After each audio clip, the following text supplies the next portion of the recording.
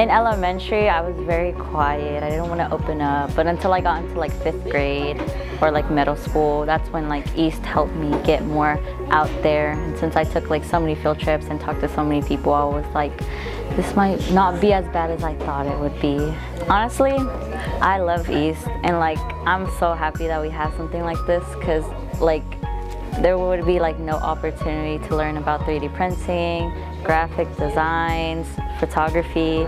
I'm just thankful that we get to learn this and we get to put it in the real world so you can like experience how it is, going places, talking to people, trying to help problems. I feel like that's like the biggest whoa thing. Like you help problems in the community. And it's just like kind of crazy thinking about it, but it's something that I'm like really passionate about. I love helping people.